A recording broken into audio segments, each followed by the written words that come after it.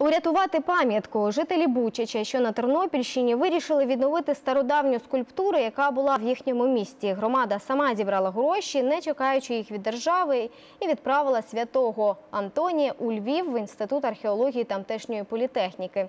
Чи впоралися із завданням реставратори, знає Марта Янко. Над відновленням скульптури святого Антонія Падуанського на кафедрі реставрації Львівської політехніки працювали понад рік. Робота була копіткою, кажуть майстри. Антоній був помальований ну, майже ну, приблизно в 10 шарів. І впродовж кількох місяців ми мусили ці дофарбування зняти.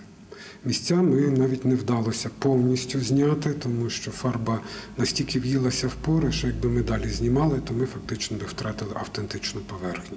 Утім, саме завдяки фарбі скульптуру не знищили за радянських часів, вважають реставратори. А ще зняті шари приховували під собою таємниці.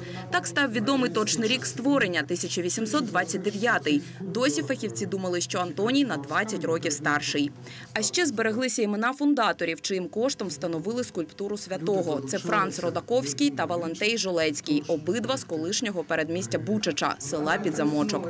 Реставрація пам'ятки була дипломною роботою студентки Катерини Плахотнюк, яка родом із Вінниці.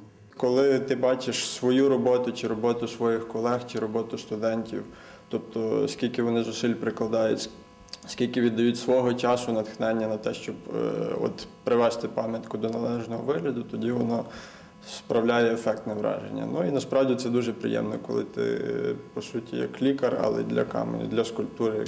Святого Антонія Падуанського вважають покровителем подружніх пар. Зображують його з немовлям Ісусом на руках. Відновлена скульптура вже найближчими днями повернеться в Бучач, жителі якого і зібрали гроші на реставрацію. Анастасія Бабіч, Марта Янко, Віталій Руденко. Новини на першому.